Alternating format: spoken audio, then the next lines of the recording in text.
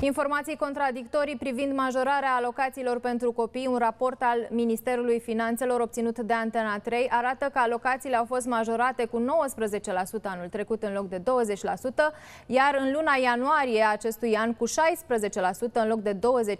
așa cum a anunțat guvernul, Antena 3 a solicitat un punct de vedere oficial de la reprezentanții Ministerului Muncii și Ministerul uh, Finanțelor, iar până la această oră cei de la Ministerul Muncii nu ne-au lămurit. Cei de la Ministerul de Finanțe ne-au trimis un punct de vedere pe care urmează să îl difuzăm imediat în jurnalele următoare.